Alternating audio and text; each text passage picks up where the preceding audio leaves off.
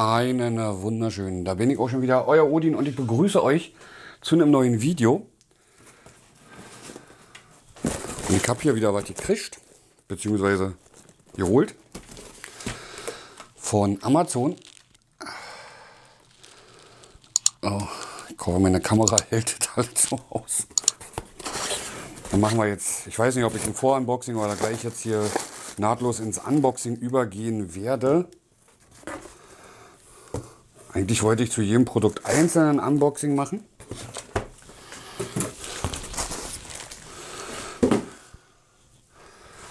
So. Und zwar habe ich hier drei Sachen. Alle drei Sachen sind von, ich hoffe, ich spreche es richtig aus, Etzco. Das ist einmal in dem großen Karton ein HDMI Matrix 4 zu 2, also vier Eingänge an zwei Ausgänge mit optisch extra. Ein, in einem von beiden ist ein 1 zu 2 mit, nee, der hat kein optisch. Und in dem, also in dem anderen dann ist halt ein 1 zu 1 mit Ausgang optisch und Klinke. Alle diese drei Geräte können 4K, 60 FPS und HDR. Ich würde sagen, wir fangen mit dem kleinen einfach mal an. Und machen da dann jetzt einfach mal ein größeres Unboxing. So, ich habe die ja im Stream schon mal kurz gezeigt. So, da haben wir einmal hier ein User Manual mit bei. Das ist der 1 zu 1 HDMI 2.2 Repeater. Wir haben auch Deutsch, glaube ich, mit bei, oder? Hoffe ich doch. Nee, alles in Englisch. Also keine deutsche Anleitung mit bei. Und hier haben wir dann noch, was für euch wichtig ist, die genaue Anleitung der Edit-Einstellungen, also dass man über die Edit-Steuerung sagen kann, was er kann, was er soll und was er nicht soll. Das legen wir mal da rein. Dann haben wir einen USB-Kabel. Den hole ich schon mal aus der Tüte raus, weil den brauchen wir ja. Das ist ein, oh Gott, ich verwechsel die immer, Mini-USB zu USB.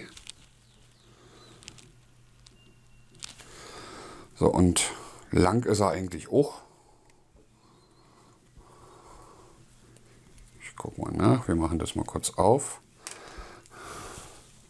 Ja, fast 80 Zentimeter.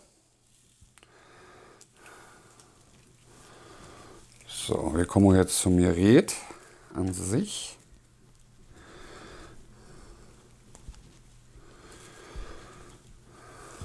Und das ist alles für PS4, PS4 Pro, PS5. Ja. Weil viele gefragt haben, zeigt doch mal ein paar Sachen, die wir für unsere PS4 brauchen könnten, beziehungsweise PS5.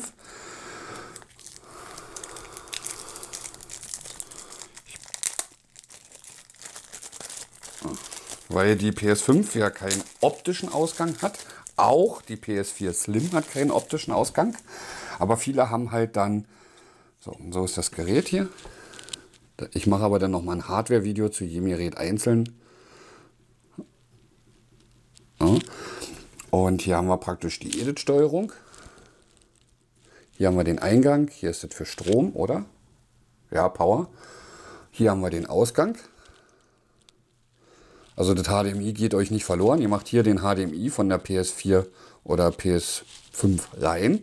Hier macht er den HDMI wieder raus zum Fernsehen. Und hier haben wir dann einen optischen und einen Klinkeanschluss. Also könnt ihr dann praktisch einen ja, 3,5 mm Klinke reinmachen. Ihr könnt aber auch einen Adapter kaufen. Das nennt sich äh, Cinch Adapter, glaube ich. Y-Cinch, irgendwie keine Ahnung. Und dann macht er hier einen Klinkeadapter rein und kommt auf zwei Cinch. Links und rechts, rot und weiß. Und damit habt ihr dann praktisch die Möglichkeit, an der PlayStation 4 Slim, die jetzt keinen optischen Ausgang hat, wenn ihr den zur Anlage peitschen wollt, habt ihr hier einen optischen dran, den könnt ihr ganz normal abgreifen. Der Ton geht, Bild und Ton kommen rein, Bild und Ton gehen raus. Bevor sie aber rausgehen, werden sie praktisch, wird der Ton abgegriffen und über optisch ausgegeben.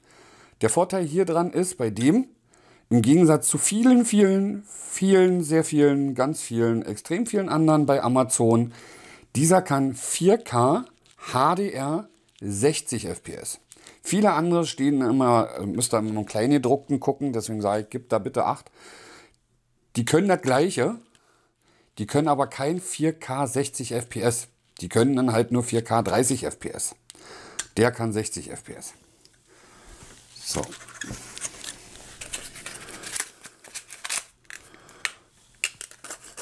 Machen wir mal wieder da rein. Kommen wir zum nächsten kleinen.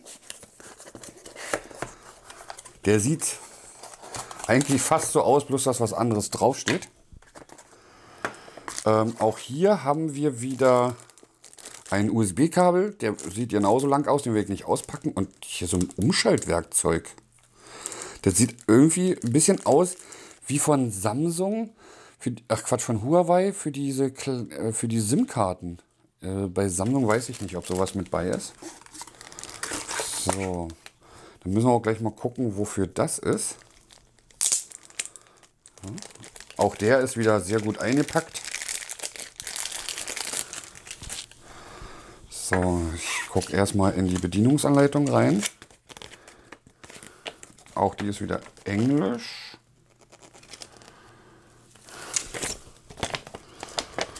So. Ich hole mir mal schnell noch vom PC-Tisch meine Lesebrille. Die habe ich nämlich vergessen jetzt mit rüber zu nehmen.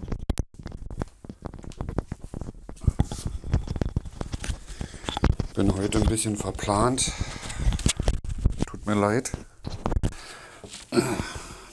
Tage waren ein bisschen beschissen. So. Und jetzt müssen wir mal. Ach so, der soll bestimmt für die Edit-Steuerung sein. Scaler on-off. Gut, hier haben wir dann den HDMI in Power. Und hier haben wir Edit, 4K, 2K und Copy 1. Okay, also hier haben wir dann praktisch den HDMI, den Strom. Und hier können wir dann einschalten, ob wir 4K haben wollen, ob wir 2K oder Copy 1. Wir lassen natürlich auf Copy 1. Ich denke mal, das ist wie bei meinen anderen Produkten, die ich habe, wenn Copy 1 da steht. Hier ist der Eingang. Was hier reinkommt, geht genauso an beide Ausgänge weiter. Wir können natürlich auch auf äh, 2K runter reduzieren oder 4K und dann geht auf BN 4K oder 2K, aber ich weiß jetzt nicht, ob da dann das HDR rausgefiltert wird bei 4K. Ähm, der Scaler, da muss ich mich dann selber nochmal belesen, äh, die Anleitung irgendwie versuchen von ins Englische ins, mit dem Handy ins Deutsche zu übersetzen. So ein bisschen. Da können wir on-off. Denke mal, müssen wir selber mal gucken. Auch dieser hat hier HDMI 2.0, ähm, HDR, äh, 4K bis 1080p und EDIT. Und HDCP 2.2 haben sie alle. Achso, hier bei Scaler steht, achso, wir können den Scaler auf On oder auf Off machen. Ich denke mal, wir haben auch für 1 und 2 den Scaler für die Ausgänge dass wir zwar Copy rein und dass es an beide so ausgegeben wird und dass wir das dann nochmal scalen können. Da müssen wir selber mal durchlesen. Ich habe es ja jetzt nur, um euch das zu zeigen, weil das, die Produkte echt mega interessant aussahen. Und wie gesagt, es gibt ganz viele, die werben mit 4K und äh, bei Amazon hier hat 4K und so. Aber Leute, 4K nützt euch nicht, wenn es nur 30 FPS sind. Ihr wollt die komplette Power der PlayStation ausnutzen. Egal ob 4 oder 5. Und wenn dann 60 FPS möglich sind, ja, na klar, machen wir doch.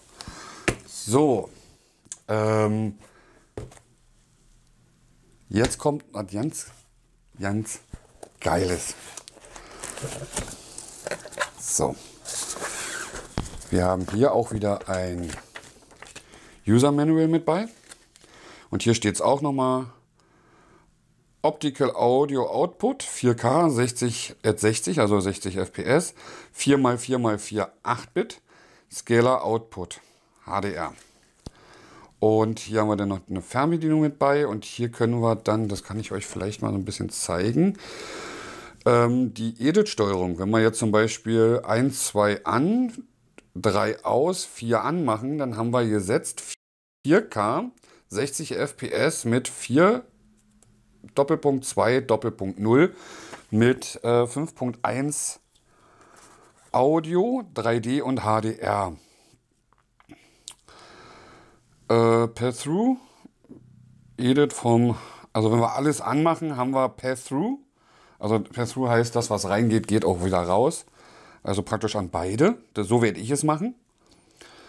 Ähm, Edit vom HD, äh, HDMI Out B. Also praktisch, was auf A rausgeht, geht auf B genauso raus.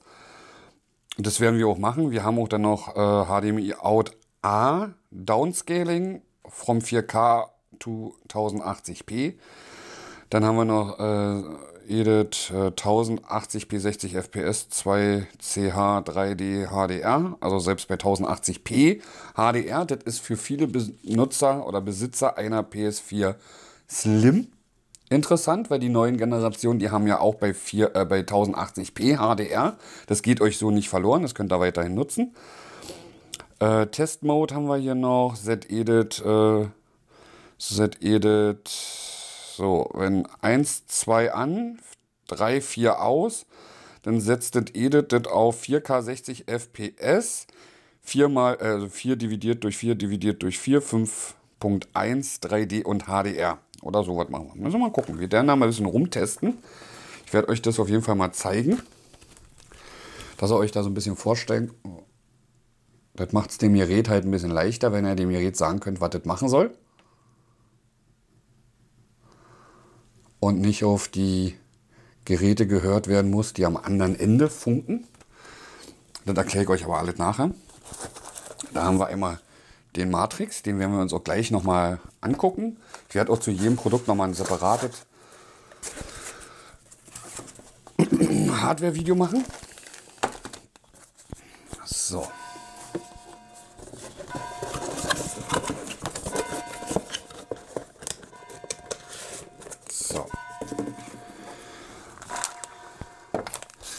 Also wir haben User Manual mit bei.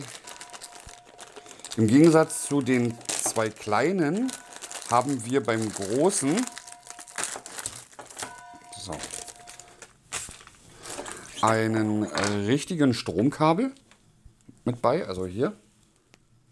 Und hier können wir uns dann aussuchen. Wir haben jetzt zwei Adapter mit bei. Einmal, oh Gott, das ist glaube ich, mit dem Steg müsste glaube ich England sein, ohne Steg Amerika oder? Also guckt euch das mal an. Also ich glaube, das ist Großbritannien. Bin mir aber nicht sicher. Ich glaube es aber. So, und das ist für uns in Deutschland interessant. Das werden wir jetzt hier einfach mal reinklicken. Ihr müsst auch da nur praktisch das hier in der Mitte reinmachen. Also ihr habt hier oben hier so eine Kerben da müsst ihr das so ein bisschen so rinfummeln, so. Und dann einfach runterschieben und schon ist es dran. So, dann haben wir hier, das werde ich jetzt nur kurz zeigen, werde ich jetzt nicht auspacken. Oh, wir haben so ein, eine, mit dem Brand der Firma, sieht man das? Ja. Mit dem Brand der Firma ein Kabelbinder, was ich sehr interessant finde, um die ganzen Kabel ein bisschen zusammenzumachen. Hier haben wir dann ein Klinkenkabel. Der hat hier vorne so ein Klinke und oben hat er, wartet mal, ich zeige euch das mal so. Das ist so ein roter Bobbel. Ja, das ist für, das ist der IR-Sensor. Das heißt, wir haben den IR-Sensor nicht am Gerät direkt dran, sondern wir haben den IR-Sensor separat. Hat den Vorteil, wir können das Gerät uns so einstellen, wie wir haben wollen, hinterm Schrank verstecken. Wir müssen es nicht im Schrank, in der Schrankwand haben oder äh, auf, auf dem Lowboard drauf oder so. Das ist, kann man im Schrank verstecken, hinterm Schrank verstecken, unterm Schrank verstecken, ist vollkommen scheißegal. Man, wichtig ist nur, dass der IR-Sensor, der wird hier hinten angeschlossen an den Klinke, kommen wir nachher dazu, den hochlegen, dass er dann irgendwie auf der Schrankwand oder an der Seite irgendwo oder unten unterm Fernseher rangeklebt oder so, damit man ein bisschen Kontakt hat. Dann kann man mit der Fernbedienung steuern. So, das ist halt das Wichtige. Wir haben auch ähm, hier so Kleber. Das sind so Klebefüßchen, damit das nicht so viel, also nicht rutschen kann. Die haben wir mit bei und hier so Metall was man an die Seite festschrauben kann, falls man das irgendwie an die Wand montieren möchte oder hinterm Fernseher an die Wand dran montieren möchte. Ist halt auch mit bei. Gibt auch noch eine kleinere Variante von dem. Äh, zum Preis kommen wir nachher. Hier haben wir auch nochmal Klett. Da könnte man das praktisch mit Klett hinten rankleben und dann am Fernseher hinten rankleben oder an die Schrankwand und dann hält es durch Klett. Selbst dafür ist gewappnet, falls man nicht Schrauben bohren will oder keinen Platz zum Verstecken hat und das hinterm Fernseher kleben möchte. Selbst dafür ist gesorgt. Und wir haben natürlich eine Fernbedienung, die sehr spartanisch ist, was aber gut ist. Wir haben halt praktisch nur zwei Felder. Ich zeige euch die gleich von nahen. Wir haben oben einen Anschaltknopf und dann haben wir zwei Felder. Ähm, Feld 1 ist HDMI 1, Feld 2 ist HDMI 2, steht auch da. Und dann haben wir dann Zahlen von 1 bis 4 auf beiden. Da können wir dann überall uns die HDMIs auswählen, die wir gerade haben wollen. Oder halt die HDMIs mit den Pfeiltasten schnell durchwechseln. Das wäre auch möglich. Zeige ich euch mal von nahen. Ja, das heißt, ihr könnt jetzt zum Beispiel, ähm, ihr habt den, die PlayStation 4 auf 4 und wollt die jetzt am Fernseher spielen. Macht da da 4 und dann geht das, wenn ihr den auf, Playsta äh, auf, die, auf Output 1 den Fernseher habt. Macht da 4, da wollt ihr die PlayStation 4 haben. Dass eure Frau spielen kann, irgendwie, irgendwie Börse, was weiß ich. Ähm, ihr möchtet aber mit der PS5, die ihr euch auf Rang 1 gemacht habt, äh, am Monitor spielen oder was aufnehmen oder was weiß ich ähm, und habt dann halt den zweiten Output zum PC gelegt, dann drückt ihr hier einfach hier die 1. Dann habt ihr auf dem Output B, der zum PC geht, die PS5 und die Frau hat am Fernsehen die PS4. Ihr könnt natürlich auch beides auf, äh, auf 4 drücken, dann ist am Fernsehen das gleiche Bild wie am PC. Das wäre natürlich auch möglich.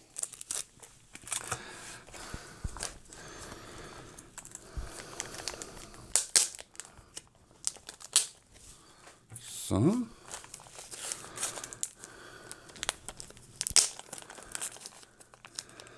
Ja, bei, bei solchen Geräten war da früher Ligavo immer ganz schnell mit bei.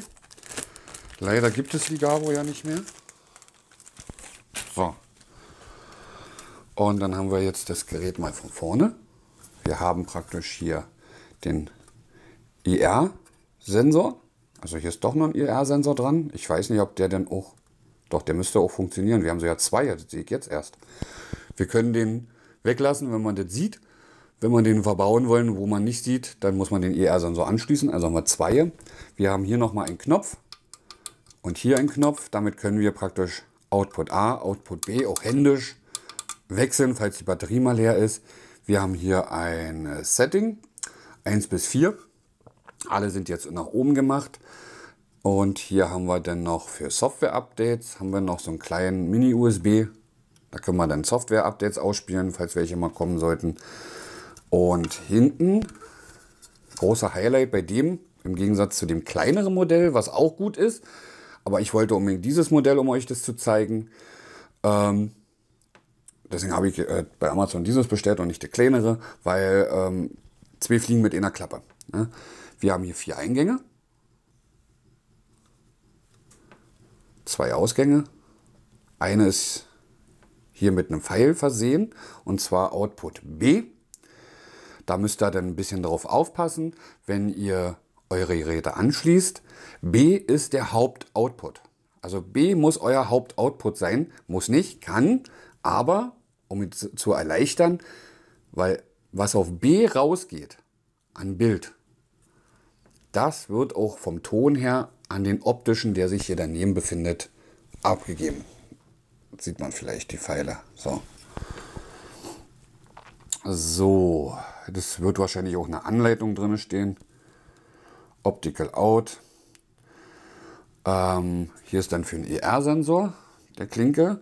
Und dann könnt ihr jetzt, ist jetzt zum Beispiel auch interessant für, für, wenn ihr mehrere Konsolen habt und ihr gerne halt noch PS3 spielt. Ihr wollt eure PS3, eure PS4, eure PS5 und eure Switch anschließen. Schließt ihr die hier an und könnt die dann an die Capture-Karte weitergeben und gleichzeitig am Fernsehen, dass wenn ihr mal nicht streamt und einfach mal so spielen wollt oder ein Kumpel vorbeikommt, geht es immer noch zum Fernsehen, damit ihr Bild und Ton am Fernseher habt und nicht immer den PC anmachen müsst. Bei einer eingebauten Capture-Karte, das Pass-Through, das funktioniert, aber so müsstet da zum PC ein HDMI hin und wieder ein HDMI zurück zum Fernsehen, beziehungsweise der ist ja dann belegt, weil er ja hoch zum Monitor geht, weil ihr das Spiel in groß haben wollt. Steht auf einem anderen Blatt.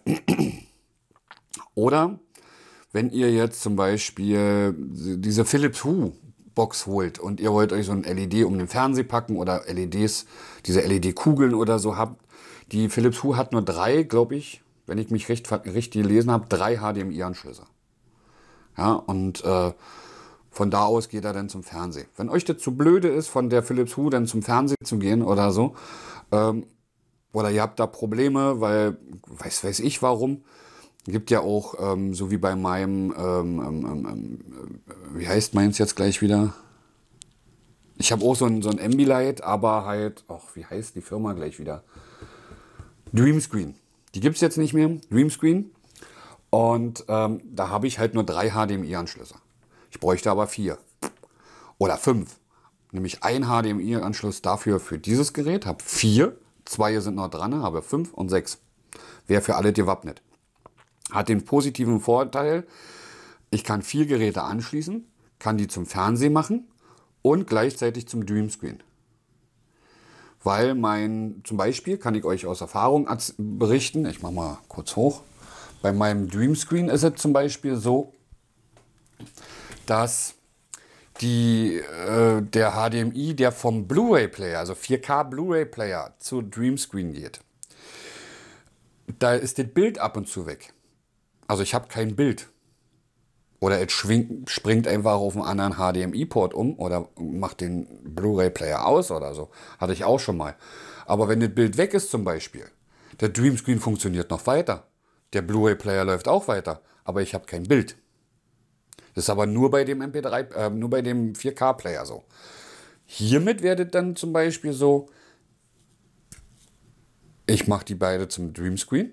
Also ein zum Fernseher, ein zum Dreamscreen. Ich könnte das so ja runterscalen auf 1080p und hätte dann praktisch das, was zum Dreamscreen geht, in 1080p. Ich habe einen 4K Dreamscreen, das ist egal, aber es wäre möglich. Und auch dieser unterstützt ähm, HDMI 2.0 mit HDR. Äh, Audio DM äh, Embedded, also dass er hier das Audio rausholt äh, und skaliert von 4K bis 1080p. Also so ja von 4K auf 1080p runter. Hier unten haben wir auch nochmal stehen. 4x2 Mat äh, HDMI, 2.0 Matrix, 4K at 60 für 4K 60 FPS, 4 dividiert durch 4 dividiert durch 4 HDR. Das sind halt diese Bildstandards, 4x4x4 und HDR. Ich zeige euch das nochmal, dass ihr das seht. Und darauf bin ich sehr stolz, die gefunden zu haben die Produkte, weil ich habe schon seit längerem, seit etwa einem Jahr, knapp einem Jahr, suche ich nach einem HDMI Matrix 4 zu 2 mit 4K und HDR und 60 FPS. Das Problem bei vielen ist, es gibt 4K äh, 60 FPS ohne HDR. Es gibt welche mit HDR. Es gibt aber halt den ohne Edit-Steuerung. Dann wird was reingeht, geht raus. Aber halt nur einmal.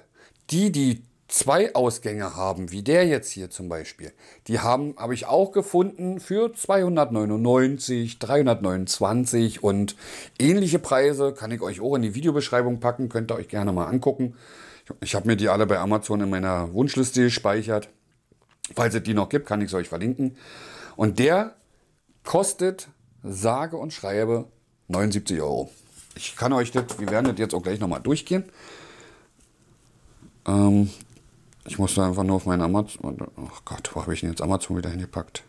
Da. Weil viele fragen ja dann immer nach dem Preis, meine Bestellungen. So, und zwar, wir fangen jetzt mal mit dem Matrix an. Der Matrix, den habe ich gekauft. Bestelldatum anzeigen. Black Friday ist hier auch bald wieder. Der, ach so, ich habe ihn für billiger gekriegt. 6 Euro Geschenk. Also bei jetzt aufladen. Also jetzt kostet dann 89,99. Ich glaube, ich habe aber weniger bezahlt. Bestelldetails anzeigen. Ich glaube, ich hatte einen Gutschein. Also nicht ein Gutschein, also da war unten wieder so ein Ding zum Anklicken hier, so und so viel Prozent. Ich gucke gerade mal nach. Ähm, ich kann mich aber auch irren. Achso, das sehe ich jetzt hier wieder nicht. Ist ja wieder doof. nee, ich sehe die Preise. Nee, nee. Ich habe ich hab auch 89 Euro. Gut, dann der HDMI 2.0 Audio Extender unterstützt 4K, 60 FPS, bla bla bla bla bla. Was ich euch gezeigt habe, also der das optische Signal abgreift, da gibt es jetzt, aktiviere ich mir gleich nochmal, äh, so einen 5% Gutschein. Ich habe ihn jetzt nochmal aktiviert, der ist immer noch gültig. Da könnt ihr dann 5% sparen. Also der kostet 27,99. Und der 1 zu 2 kostet 39,99. Achso, die werden mir nicht angezeigt, weil ich das alle zusammen bezahlt habe. Das wurde am Ende der Bestellung abgezogen. Ach so, ja, das ist bei Amazon manchmal blöd. Ähm, der kostet 39. Ja, das ist mit einem Herz versehen, weil ich habe mir die markiert natürlich, weil äh, bei dem Preis und äh, bei dem, was die können, dann muss man zugreifen. Und weil ich ja sowieso noch ein paar Tutorials machen wollte für euch, habe ich gedacht, das ist die sinnvolle Möglichkeit. Ähm, ich werde euch jetzt noch mal schnell erklären, für warum und weshalb und für wen was ist. Oder für wen was interessant ist. Ist ein bisschen längeres Unboxing, ist jetzt nicht nur ein Unboxing, ist jetzt auch gleich mit Tipps und Tricks. Scheißegal, ich schreibe Unboxing drin. So, wie gesagt, 4 zu 2 mit Downscaling.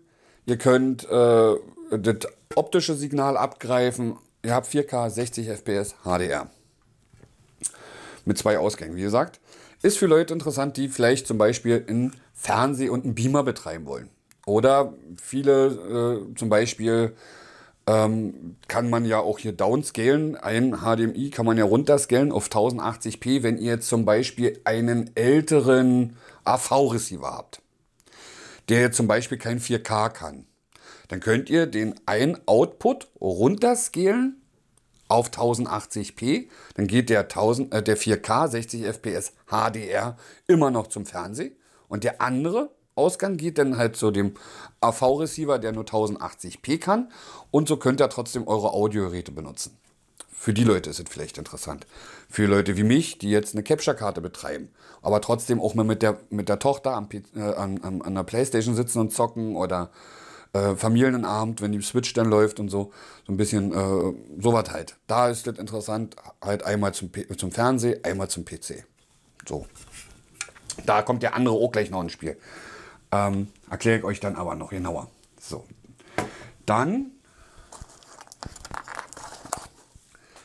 haben wir hier den, der, ab, äh, der, der euch das Audio abgreift. Praktisch HDMI-Eingang, HDMI-Ausgang und optisch wird abgegriffen. Das ist für Leute interessant, die jetzt zum Beispiel eine Dolby-Anlage haben, eine, mit, mit einem optischen Anschluss oder ein Headset haben mit einem optischen Anschluss, die zum Beispiel PS5 oder PS4 Slim, bieten ja nicht mehr den optischen Anschluss. Die ist ja weg. Da macht ihr einfach von der PS4 Slim den HDMI hier rein, von hier zum Fernseher und den optischen macht ihr einfach zu eurem Headset. Könnt ihr machen. Ähm, ihr könnt natürlich auch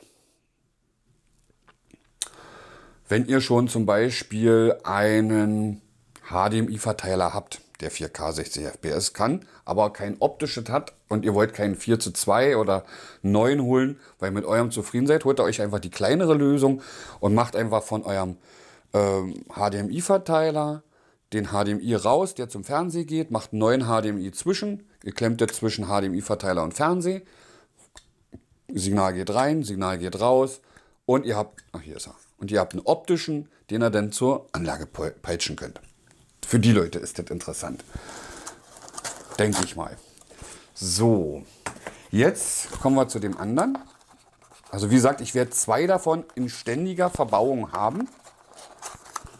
So, und zwar den Matrix und den, den ich euch jetzt zeige, den wir vorhin gesehen haben. HDMI-Eingang, HDMI-Ausgang, zwei Stück. Und ähm, auf Copy werde ich den auch lassen. 4K 60 FPS. Ich will ihn ja testen. Und zwar kommt der hier am PC ran. Jetzt fragt ihr euch, warum?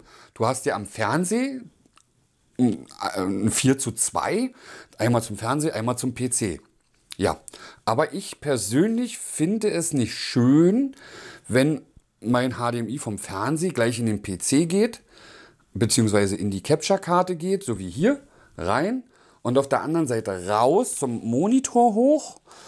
Ähm, Klar habe ich dann ein Monitorbild, aber, jetzt kommt das große Aber, wenn ich zum Beispiel im PlayStation-Menü bin, und da bin ich ja öfters drin, ich starte, starte ja die Streams vom PlayStation-Menü aus oder entscheide mich dann noch was anderes zu spielen oder gehe zurück, deaktiviere das Spiel, gehe in ein neues Spiel rein.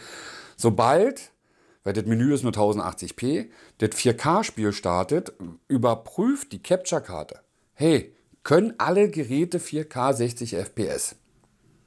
Das heißt, das Bild wird schwarz mit einem so einem silbernen Menü, also mit so einem silbernen Schriftzug in der Mitte, dass es überprüft wird oder dass gerade keine Verbindung ist und so. Und dann prüft die Capture-Karte. Hier kommt 4K 60 FPS rein.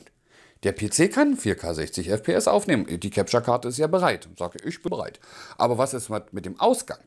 Den guckt da oben beim Monitor, der kann 4K 60 FPS. Also können wir das praktisch so lassen. Aber wir haben halt für eine Sekunde oder so, manchmal auch zwei, ein schwarzes Bild. Das finde ich nicht schön und vor allen Dingen nicht im Stream. Deswegen habe ich bei mir jetzt schon zwei Verteiler dran und ich werde es weiter so belassen, dass der Matrix praktisch am Fernsehen hinkommt und der kommt praktisch, hier geht der denn, der vom Matrix kommt rein und hier geht es dann einmal ein Output zur Capture-Karte und einmal ein Output hoch zum Monitor. Hat den Vorteil, weil ich diesen ja festgelegt habe auf Copy. Das heißt, was reingeht, geht auch so raus. 4K 60 FPS, 1080p, scheißegal, was reingeht, geht raus. Der Monitor gibt es so wieder. Der hat eine schnelle Umschaltzeit. Die Capture-Karte nimmt so auf, wie es kommt. Hat aber den Vorteil, die Capture-Karte muss nicht überprüfen, ob das, was rausgeht, der Bildschirm kann. Das heißt, dieser schwarze Bildschirm, bleibt aus. Weil ich diesen Umweg rein in die Capture-Karte, raus aus der Capture-Karte umgehe, sondern vor der Capture-Karte noch meinen Splitter mache. Einmal für Capture, einmal für Bildschirm. Das ist eigentlich das Ganze dahinter. So. Oh Gott, das war jetzt auch, glaube ich, ein bisschen lang. Also das wird wahrscheinlich nicht nur ein Unboxing, ich denke ich mal, werd, ich werde es Vorstellungsvideo nennen oder so. Ich bin mir noch nicht sicher. Ich bin mir noch nicht sicher, wie ich es nennen werde. Ich muss auf jeden Fall zu jedem Produkt nochmal ein einzelnes Video machen, weil es bringt ja nichts, wenn, wenn einer jetzt nur das kleine Gerät sucht oder nur den großen, dass er halt dann hier das ganze Video, was bestimmt jetzt auch schon wieder 20 Minuten ist, guckt. Ich hoffe, ich konnte euch damit jetzt erstmal helfen. Ich werde jetzt gleich noch mehr Videos dazu machen. Ähm, bleibt gespannt. Wenn ihr da noch Fragen habt, in die Kommentare posten. Ähm, ich weiß, dass hiervon, glaube ich, ich habe den Hersteller nämlich mal gefragt, ähm, was jetzt, wie es jetzt aussieht, äh, weil die PS5 ja äh, 2.1 hat, also HDMI 2.1. Ähm, genaueres durfte und konnte er mir nicht sagen. Ich musste das auch mit Englisch-Übersetzer übersetzen, also kann auch sein, dass der Übersetzer Scheiße gebaut hat. Aber es soll wahrscheinlich eventuell irgendwann nächstes Jahr davon, von dem Matrix, ein Update geben, der dann wahrscheinlich sogar 4, äh, HDMI 2.1 hat. Aber genau dafür konnte er mir das nicht sagen. Wann nächstes Jahr ist, steht ohne Sterne. Also von daher. So, ich bin dann jetzt mal weg. Ich hoffe, wie gesagt, hat euch gefallen. Ein Däumchen wäre ein Träumchen. Wir sehen uns im nächsten Video. Bis dahin. Ahoi. Sagt euer Odin.